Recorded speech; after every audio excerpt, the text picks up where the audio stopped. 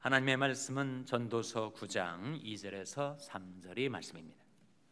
모든 사람에게 임하는 모든 것이 일반이라 의인과 악인이며 선하고 깨끗한 자와 깨끗이 아는 자며 제사를 드리는 자와 제사를 드지 아니하는 자의 결국이 일반이니 선인과 죄인이며 맹세하는 자와 맹세하기를 무수하는 자가 일반이로다.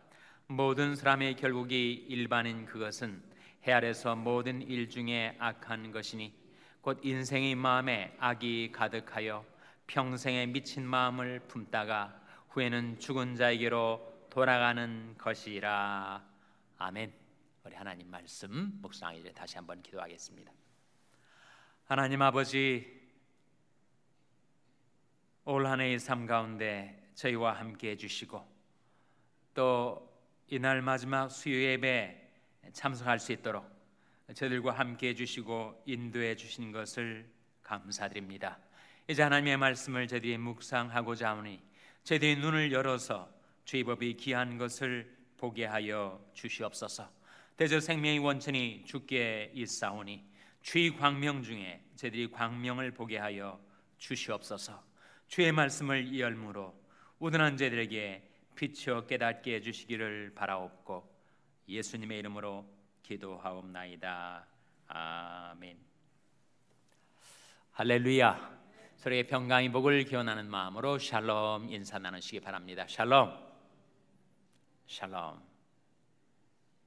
올해의 마지막 수요예배 여러분 잘 참석하셨습니다. 유종의 미를 잘 거두셨습니다. 지금부터 하는 건 전부 다 마지막이에요. 내일은 이의 마지막 목요일, 모레는 이의 마지막 금요일, 토요일은 이의 마지막 토요일. 아, 토요일은 송구영신 예배가 있는 날이죠. 아, 앞으로 며칠 남지 않은 2016년도 남은 시간들을 잘 정리하고 청산하고 어, 새해를 맞이하는 준비를 하시기를 바랍니다. 우리가 살고 있는 미국에는 인종차별이라는 것이 있습니다. 한국에는 없는가? 한국에도 요즘은 인종차별이 있어요.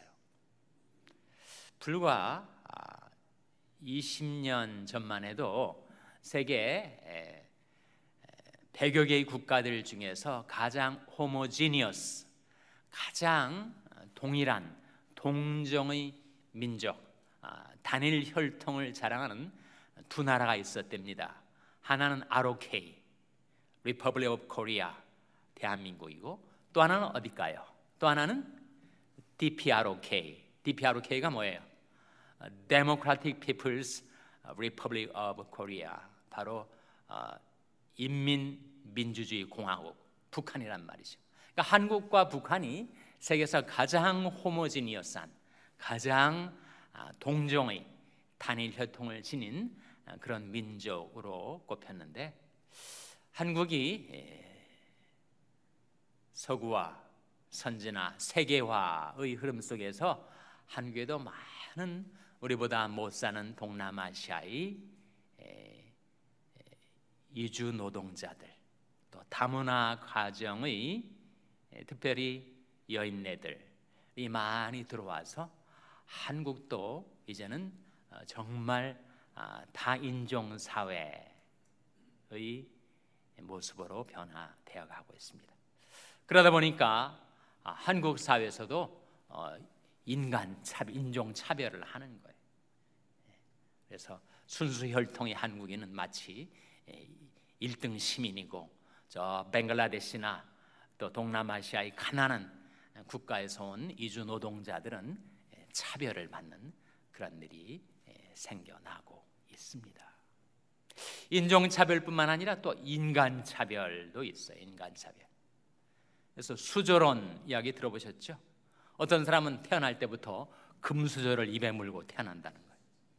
어떤 사람은 은수저를 물고 태어나고, 어떤 사람은 또 흙수저를 물고 태어나고, 어떤 사람 태어나 봤더니, 봤더니 대통령이 딸이 된 사람도 있고, 어떤 사람은 재벌이 아들이 된 사람도 있고 또 어떤 사람은 태어나 봤더니 서민의 아들인 사람도 있고 금수저, 은수저, 흑수저만 있는 게 아니라 또 뭐가 있대요? 무수저가 있답니다. 무수저. 아무런 수저 없이 태어난 태어나 봤더니 천혜의 고아인 사람도 있단 말이지. 그래서 이 세상에는 인종 차별도 많고 인간 차별도 많아서 돈 때문에 권세 때문에 내가 남보다 아, 항상 아, 쾌락과 만족을 덜 받아 누리는 것처럼 아, 다른 사람들을 질시하고 열등감에 빠져 살게 되는 인간 차별이 우리가 사는 세상에는 많이 있다는 것입니다. 그러나 이런 모든 차별들을 일시에 평준화시키는 equalizer 모든 것을 평균케 하는 것이 있다는 겁니다. 그게 뭘까요? 이 세상 살 동안은 power, money, pleasure 등등으로 많은 차별이 있어서 어, 사람들에게 질투심, 시기심을 불러일으키고 비교식 가운데여서 열등감과 우월감에 사로잡혀 살게 만드는 온갖 차별들이 다 일순간에 똑같이 평균화 되는 아, 모든 것들을 평준화시키는 것이 있다는 겁니다. 이게 바로 오늘 본 말씀이 보여주는 것인데 거기에 무엇이 인생을 평준화시키는가 한번 찾아보시기 바랍니다. 자, 2절 말씀해 보시면 2절 말씀 다시 한번 같이 읽겠습니다. 시작. 모든 사람에게 임하는 모든 것이 일반이라 의인과 악인이며 선하고 깨끗한 자와 깨끗지 않은 자며 제사를 드리는 자와 제사를 드리지 아니하는 자의 결국이 일반이니 선인과 죄인이며 맹세하는 자와 맹사기를 무엇하는 자가 일반이로다 온갖 다른 사람들 의인도 있고 악인도 있고 선하고 깨끗한 사람도 있고 깨끗이 못한 사람도 있고 제사를 드리는 자도 있고 제사를 드리지 않는 자도 있고 구약 시대는 제사를 드리는 거라면 신약 시대는 뭐를 드리는 사람과 뭐를 드리지 않는 사람으로 나누어진다는 걸까요? 제사는 바로 기도를 상징하죠. 기도를 하며 사는 사람이 있고 기도를 하지 않고 사는 사람도 있고 맹세하는 사람도 있고 맹세하기를 무서워하는 사람도 있고 그런데 이러한 상이한 헤테로지니어스한 인간 사회 속에서 모든 차별을 일시에 평준화시키는 이퀄라이저 평균케 하는 것이 있는데 그것이 뭐라는 겁니까? 바로 3절에 나와 있는 죽음이라는 거죠. 죽음. 3절 말씀 같이 읽겠습니다. 시작. 모든 사람의 결국이 일반인 그것은 해 아래서 모든 일 중에 악한 것이니 곧 인생의 마음에 악이 가득하여 평생에 미친 마음을 품다가 후에는 죽은 자에게로 돌아가는 것이라. 거기는 차별이 없다는 거예요. 모든 사람이 다 죽음 앞에서는 평준화 될 수밖에 없다는 거예요. 선인도 죽고 악인도 죽어요. 제사를 드리는 자도 죽고 제사를 드리기를 싫어하는 사람도 죽고 맹세하던 자도 죽고 맹세하기를 무서워하던 사람도 죽고 깨끗한 사람도 죽고 깨끗이 못한 사람도 죽고 의인과 불의한 사람 선인과 악인 모두가 다 죽게 된다. 돈 많은 사람도 죽고 돈 없던 사람도 죽고 권세 많은 사람도 죽고 권세 많지 않은 사람도 죽고 온갖 쾌락을 누리던 사람도 죽고 쾌락을 누리지 못하던 사람도 죽고 그래서 인생의 모든 차별을 평균케 하고 인생의 평준화를 이루게 하는 것 그것이 바로 죽음이라는 겁니다.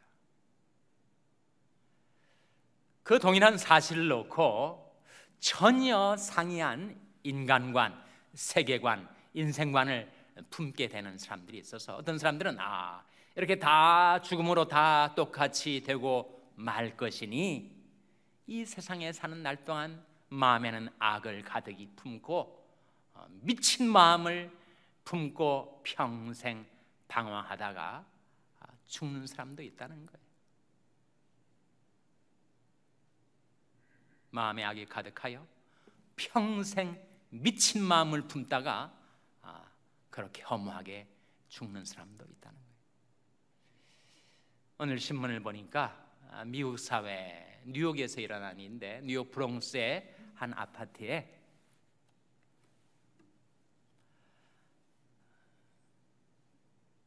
(32세) 된 어머니와 (4살) 된 아들이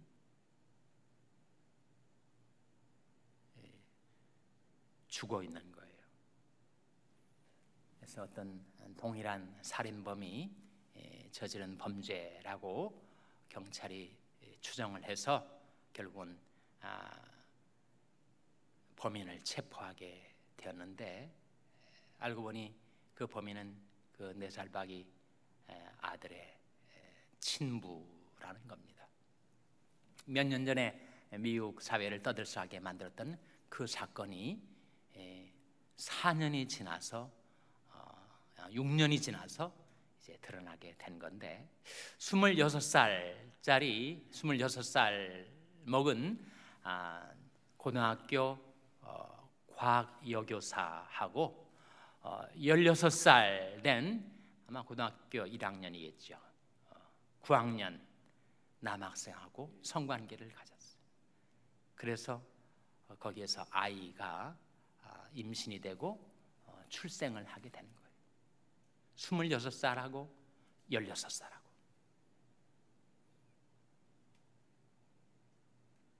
여교사하고 아, 고등학생하고 그래서 태어난 아이가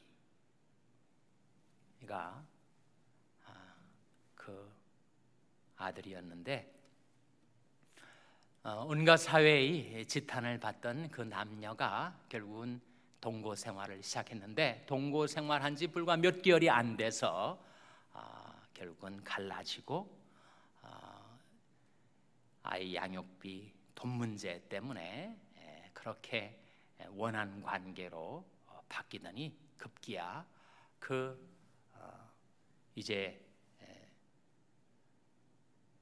스물 스물두 살 6년 후니까 22살 된 그 남자가 32살 된 옛 자기 애인을 죽이고 어, 자기 아들을 죽이는 그런 아, 비참한 사건이 벌어지고 만 것입니다.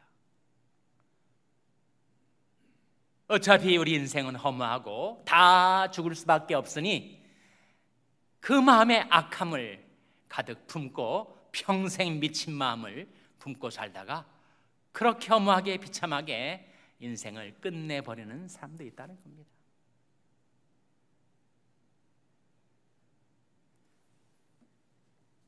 죽음이 인생을 평준화시킵니다.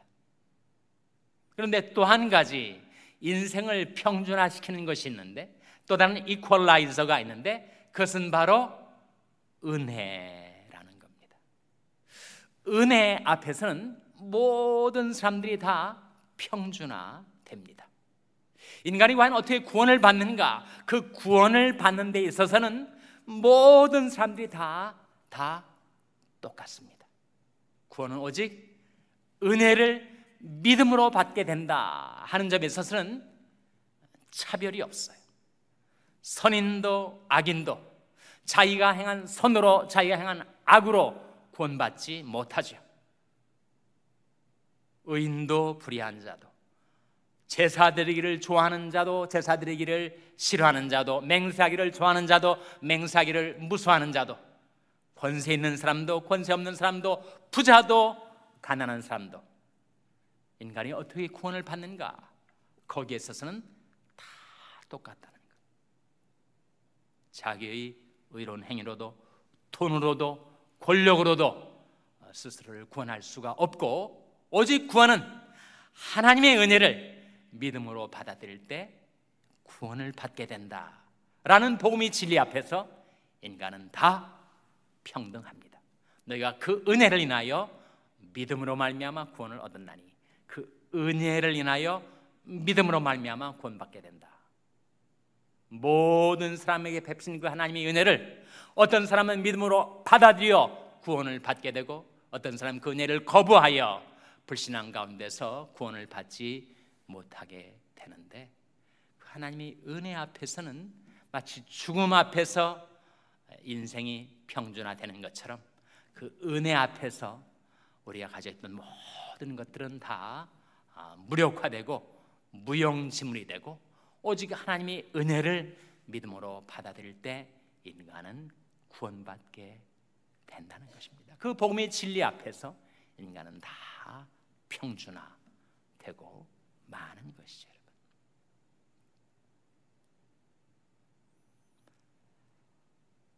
그렇게 끝나게 되는 우리 인생을 내가 어떻게 살아갈 것인가? 정말 마음에 악이 가득하고 평생 미친 마음을 품다가 그렇게 끝나 버리는 인생을 살 것인가? 아니면 인생은 죽음과 아, 구원의 은혜 앞에서 다 동일하지만 그러나 내가 이 세상에 살아가는 나의 삶, 삶은 아, 영원히 남는다는 그런 사생관을 갖고 살아가는 사람. 그 두 사람의 차이는 하늘과 땅의 차이라는 거예요. 그래서 과연 우리가 이 세상에 살아있는 날 동안 내가 어떤 삶을 사는가 하는 것은 영원히 남게 됩니다. 고린도서 5장 10절 말씀에 나와 있죠. 한번 찾아보시기 바랍니다. 고린도서 5장 10절 말씀 우리 찾아서 한번 같이 읽겠습니다. 고린도서 5장 10절 말씀은 신약 성경 290면입니다. 신약 성경 290면 고린도서 5장 10절 말씀 찾아서 같이 읽겠습니다. 고린도서 5장 10절 말씀 같이 읽겠습니다. 시작. 이는 우리가 다 반드시 그리스도의 심판대 앞에 드러나 각각 선악간에 그 몸으로 행한 것을 따라 받으려 함이라. 죽음 그리고 구원 앞에서 우리 인간은 다 똑같지만 그러나 내가 이 세상에서 어떻게 살았는가 하는 것은 영원히 남게 되는 것이다. 이는 우리가 다 반드시 그리스도의 심판대 앞에 드러나 각각 선악간에 그 몸으로 행한 것을 따라 받게 되는 것이다. 그래서 우리의 이 한 번밖에 없는 짧고 유한한 우리 인생은 너무나도 귀중한 것입니다. 내가 어떻게 사는가 하는 것은 영원히 남게 되는 것이니 우리의 인생은 정말 귀중한 거죠. 그래서 우리가 자중 자애하면서 살아야 됩니다. 경고, 망동 할 수가 없는 거죠. 한국의 김영석 교수라는 분이 연세대 철학과 교수이신데 그분이 쓴 최근에 나온 책 가운데 백세를 살아보니 그런 책이 나왔어요. 정확히는 그분이 연세가 현재 97세시랍니다.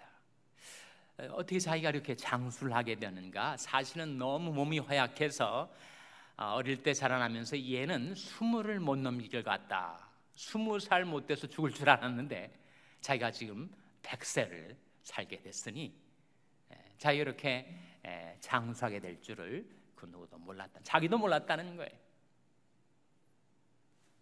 그러면서 자기가 살아온 삶, 아, 자기 인생의 키워드, 자기 인생의 평생의 신조 두 가지가 있답니다.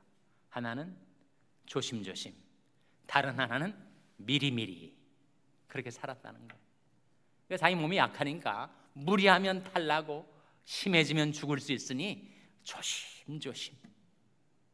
말도 행동도 먹는 것도 마시는 것도 조심조심. 그리고 미리미리 자 연약함을 알기 때문에 자기는 스트레스를 받지 않으려고 어, 지금도 일주일에 한 번씩 강연을 나가는데 강연을 2주 전에는 다 준비를 해 놓는데요. 미리미리. 물론 그가 가졌던 아, 기독교 신앙, 하나님을 신뢰하고 의지하는 그 믿음이 그런 삶을 가능케 했겠죠, 여러분. 그럼 우리 삶이 언제 종착역에 다다르게 될지 모르는 내를 알 수 없는 인생을 살면서 우리 귀중한 인생을 내가 어떻게 살아갈 것인가? 정말 우리는 자중자애하며 조심조심 살아가야 하지 않겠습니까? 요한계시록 22장 12절 말씀 한번 보시기 바랍니다. 요한계시록 22장 12절 말씀은 신약 성경 422면 맨 마지막 페이지죠. 요한계시록 22장 12절 말씀. 찾아서 같이 읽겠습니다. 요한계시록 22장 12절 말씀 같이 읽겠습니다. 시작. 보라 내가 속히 오리니 내가 줄 쌍이 내게 있어 각 사람에게 그 일한 대로 갚아 주리라. 보라 내가 속히 오리니 우리 주 예수 그리스도께서 우리에게 약속하시는 말씀인데 내가 줄 쌍이 내게 있어 각 사람에게 그 무엇 한 대로 갚아 주리라 하셨습니까? 일한 대로. 그래서 우리의 삶이 귀중한 것입니다. 한 번밖에 없는 우리 유한한 인생이 영원토록 아, 가치 있는 아, 귀중한 인생이 되는 까닭에 우리 삶을 결코 마음에 악을 품고 평생 미친 마음을 품고 사는 자처럼 그렇게 살아갈 수는 없다 하는 거죠. 마지막 말씀 마태복음 25장 21절 우리 찾아서 한번 같이 읽겠습니다.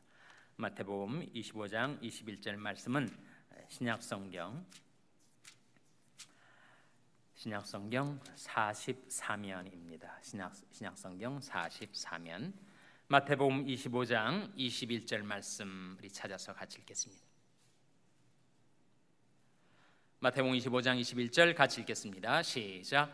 그 주인이 이르되 잘하였도다 착하고 충성된 종아 내가 작은 일에 충성하였음에 내가 많은 것으로 내게 맡기리니 내 주님의 즐거움에 참여할지어다 하고 이해를 마감하는 연말의 길목에 서서 어, 이렇게 올 한 해를 하나님의 은혜를 힘입어 살아온 것처럼 이제 내 평생 아, 나의 삶을 마치고 하나님 앞에 서게 될 때가 다가올 터인데 그때 내가 과연 이 인생을 어떻게 살았는가? 어떤 일을 하고 어떤 인생관, 어떤 사생관, 어떤 가치관, 어떤 세계관을 갖고 내가 살았는가? 내 몸으로 행한 것을 따라 주님께 그대로 받게 될 날이 내게 다가올 텐데 그때 주님 주인이 내게 이르시기를 잘하였도다.